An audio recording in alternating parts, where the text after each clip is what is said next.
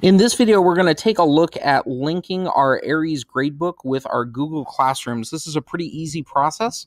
All you want to do is log yourself into Aeries to begin with, and then you're going to need to see the class summary pane, which you'll see is visible right over here.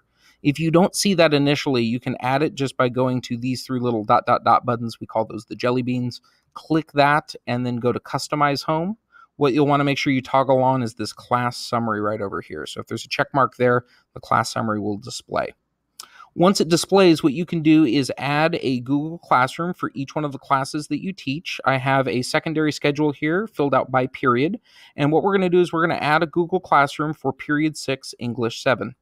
To do so, I just navigate over to the Add Website button click that button and you'll notice up here at the top you have two options for Google Classroom.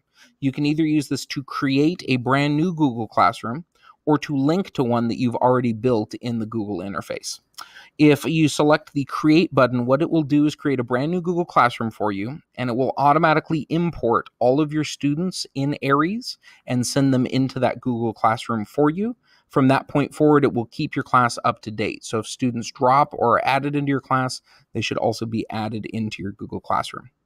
If you've previously set up your Google Classrooms, no worries. Uh, if you have one already built and you click the link button, then what it'll ask you to do is at, uh, is select which one of your Google Classrooms that you've set up would you like to link with that class period, and then it will also merge and link all of the students for those two. So I'm going to click this create button.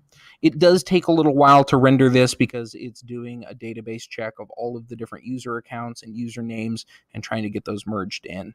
Uh, once it's done, you'll get a little message that the import and the creation was successful.